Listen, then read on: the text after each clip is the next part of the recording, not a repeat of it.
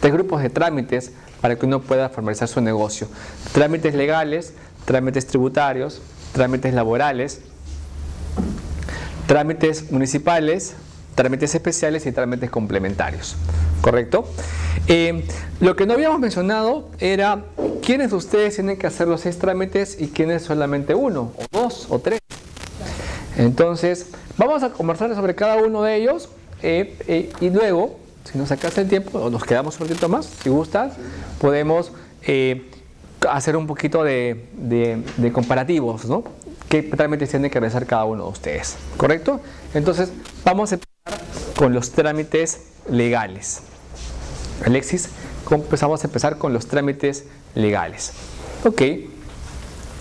Los trámites legales eh, básicamente se, se aplican cuando uno crea un negocio bajo la forma de persona jurídica.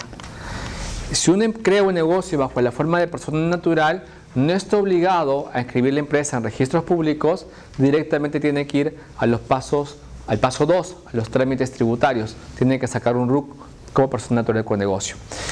Pero si yo elijo un negocio bajo la forma de persona jurídica, que posiblemente sea eh, más del 50% de ustedes, tenemos que hacer lo siguiente. Todos estos trámites, por si acaso, los realiza una notaría, generalmente, pero es bueno que ustedes los conozcan eh, para que las cosas se hagan de manera correcta o de repente ustedes también quieren ser parte eh, en, el, proceso de creación de esta empresa. ¿Correcto? Número uno, hay que hacer una búsqueda de nombre. La búsqueda eh, tiene un costo de 5 soles, se realiza en cualquier oficina de Sonar y usualmente te da una respuesta digamos en media hora, una hora, dependiendo, dependiendo del, movimiento de la entidad o de la oficina. Este trámite lo puede realizar cualquier persona, lo puede realizar los accionistas o socios de la futura empresa o puede realizarlo un tercero, por si acaso. Esta, esta búsqueda no es, eh, vamos a llamarlo, eh, concluyente. Puede ser de que al hacer, digamos, el paso siguiente, te pueden decir que no. Entonces, en algunos casos te dicen, ok, está disponible, pero se parece a otra empresa, entonces, ¿qué se tiene que hacer en este caso?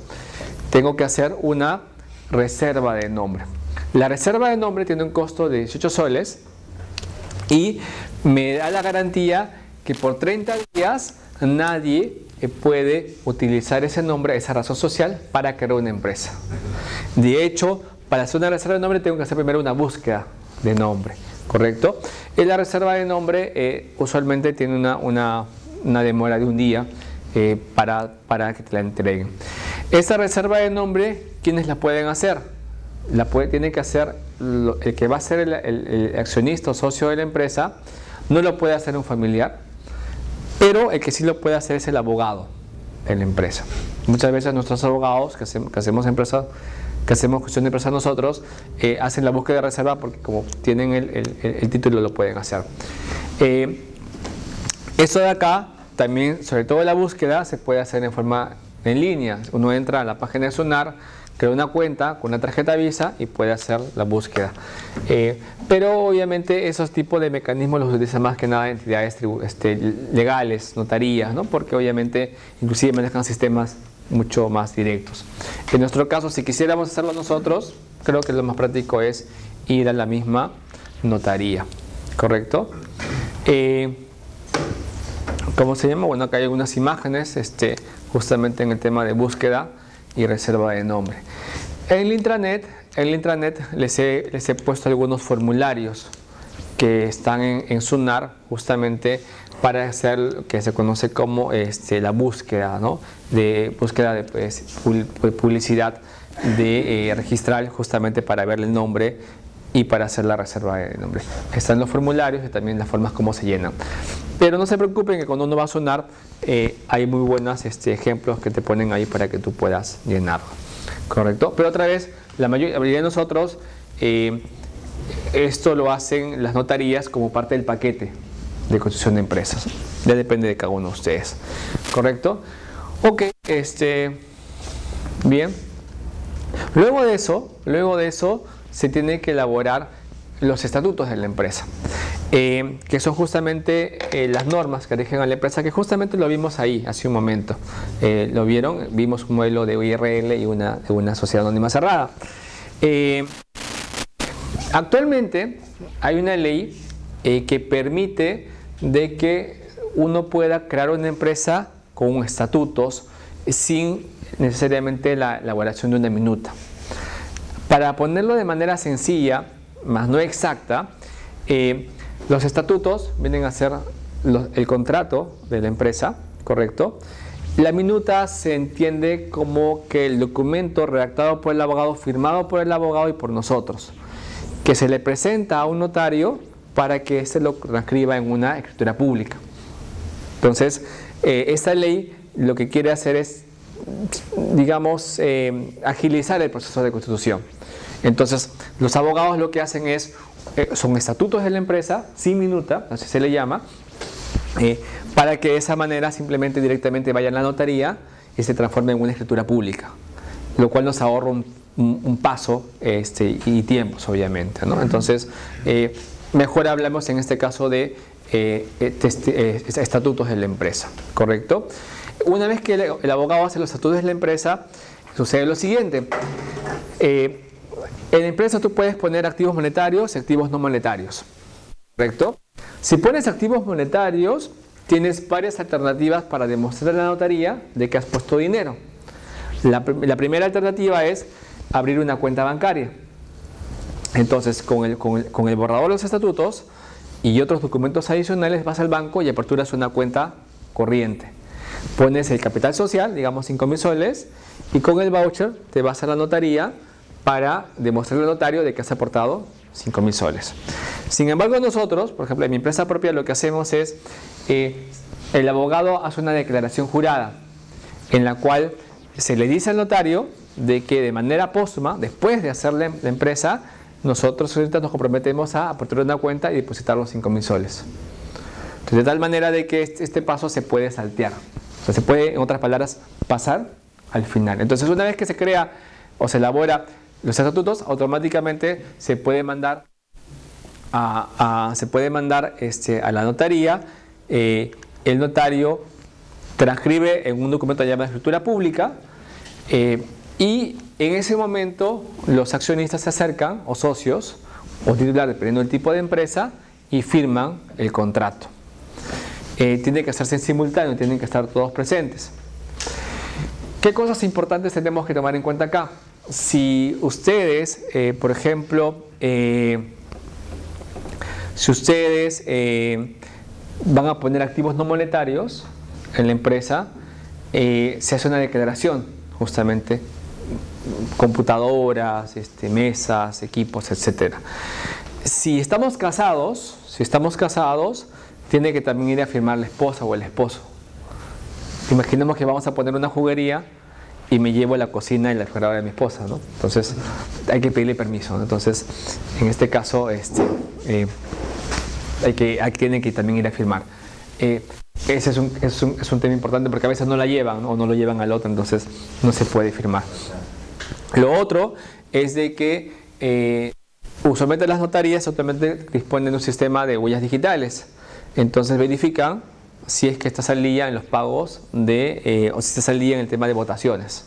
Si no has votado, te olvidaste, eh, tienes que primero hacer la cancelación de, esa multa y luego puedes aparecer acá. Si los montos eh, son altos, también te piden a veces que tienes una declaración de la procedencia de los fondos. Si son tuyos, ahorros, se los pasó este, eh, no sé, Vladimiro, no sé quién, un poco para ver el tema de lavados de dinero, ¿no? Eh, son algunas cosas que de todas maneras tienen que tener en cuenta. Firmado la escritura pública, la notaría lleva la escritura pública ¿a dónde? A SUNAR, a la Oficina de, Registros Públicos. Y en este caso, eh, SUNAR te cobra dos te cobra algunas tarifas por justamente escribir, se conoce como derechos registrales. ¿Cuáles son? 40 eh, soles por el derecho de, llevar la documentación, escribir la, escritura pública, 3 soles por cada mil soles de capital social. Si yo pongo capital social de 5 mil soles, tendré que agregarle 15 soles más. Y me cobran 22 soles por cada representante legal que ponga en la empresa. 22 soles. En otras palabras, si creo una empresa con un capital social de 5 mil soles, pago 40 soles más 15 soles, 3 por 5, 15 soles, y aparte 22 soles por el tema, asumiendo de que voy a poner a un solo representante legal, al gerente general de la empresa. Y eh, obviamente eso varía de, cuánto, cuánto capital quieras poner en el negocio. Días, dependiendo de la notaría del, proceso, eh, la notaría y esta eh, te entrega un testimonio de la empresa y tu empresa ya está legalmente constituida. ¿Correcto? hay notarías que están interconectadas y te pueden hacer esto en tres o cuatro días, otras en una semana, entonces hay que también saber con cuál de ellas eh, trabajar. Bien, básicamente son los trámites, trámites legales. Bien, hay programas, COFIDE tiene un programa para crear empresas, el Estado tiene un programa llamado 72 horas, pero que no es en realidad este, en 72 horas un poquito más. Eh, el Ministerio de la Producción tiene un programa llamado Mi Empresa, a negocio. Eh, la ventaja de estos sistemas es que son más económicos eh, que notarías convencionales. Eh, la desventaja es de que al ser más económicos son más... Si tú quieres algo más complejo, quieres poner otras cláusulas o quieres una asesoría más especializada, eh, no es muy práctico. Entonces, negocios sencillos, creo que es una buena alternativa. Negocios más complejos, que tú requieras una, un estatuto personalizado, recomendaría una notaría o una empresa jurídica eh, importante, dependiendo. En realidad, ¿cuánto es el tiempo promedio que se monta una empresa? Eh, siete días útiles. Siete días. Siete días útiles. Siete días útiles. ¿En Venezuela cuánto es? de tres meses para el último. Tres meses. Bueno. Un Ok, bueno. Entonces hay que sentirse, hay que sentirse afortunado. Bien. Eh, paso número dos, trámites tributarios.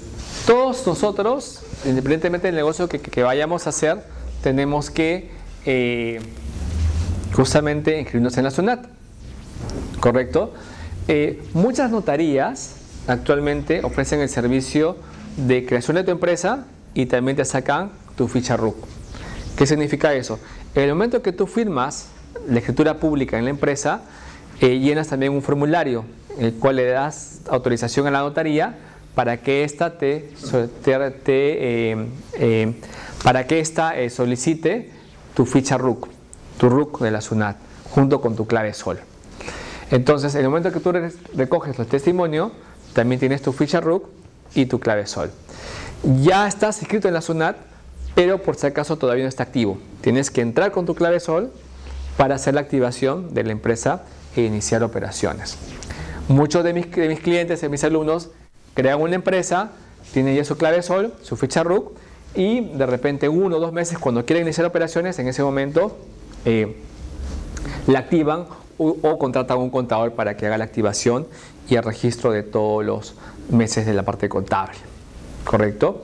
Eh, eh, este mes, por alguna razón, eh, SUNAT, perdón, el Colegio de, Abogados y, y SUNAR están haciendo unas negociaciones, así que no están permitiendo ese proceso.